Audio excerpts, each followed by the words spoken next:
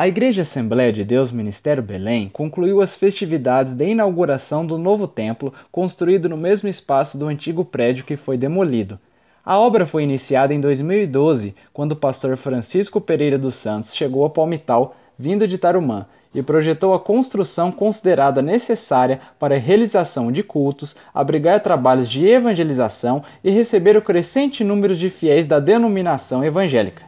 A construção com mais de mil metros quadrados, que inclui a nave principal com mezanino, o púlpito elevado e outras instalações como cozinha, salas de estudo bíblico, tesouraria, escritório e acomodações para hospedagem de visitantes e palestrantes, foi concluída este mês. Além do amplo espaço, a igreja investiu em modernos equipamentos para facilitar a visualização e o acompanhamento dos cultos e das palestras pelos fiéis por meio de um telão com projetor e um aquário em vidro temperado para controle do som da bateria que integra o grupo musical Ministério Face a Face. Além da nave principal, com capacidade para receber 800 pessoas sentadas, também foi construído o templo Assembleia de Deus Kids, exclusivo para evangelização de crianças. O prédio com decoração com motivos infantis atende a vários grupos de crianças, divididos por faixa etária, e oferece ar-condicionado e equipamentos de som para as atividades. As festividades de inauguração foram iniciadas no último dia 18, com uma sequência de eventos religiosos e festivos noturnos.